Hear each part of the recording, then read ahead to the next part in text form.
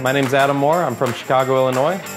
Today we're going to be cooking up a delicious Australian rack of lamb glazed with uh, honey and cumin. All right, so first what we're going to do is we're going to create our honey glaze. What I like about cumin, especially within this glaze, is right now it's, it's not roasted, but as the lamb cooks, it's going to toast itself and it's going to create a nice depth of flavor. There you go, doesn't get much easier than that. So next we're going to create our mashed cauliflower. This is optional if you don't want to put cheese in here, but it adds just a great flavor. You just mash that cauliflower up against the sides of the bowl so it replicates the same texture as mashed potatoes. What we're gonna do to start this lamb roast is just simply season it with salt and pepper. What I love about this lamb is that it has great color to it.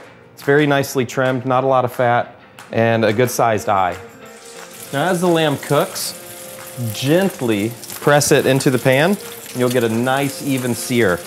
We're gonna let this cook for about three to four minutes. And then at that point, we're gonna flip over the rack and then glaze it with the honey glaze and put it in our oven. All right, so after about 10 minutes, we're ready to take our lamb out of the oven. So an important step now is to let our lamb rest. So I'm gonna take it out of the hot pan, place it on our cutting board. This allows all the juices to come back into the meat. I'm gonna add a spoonful of our smashed cauliflower. Then we'll take a couple chops a great idea for kids when cooking a French rack of lamb is to cut in between the bone and serve it as a lollipop. All right, so now grab your glaze. Let's finish the chop. There you have it. Honey and cumin glazed Australian rack of lamb with cheesy garlic smashed cauliflower.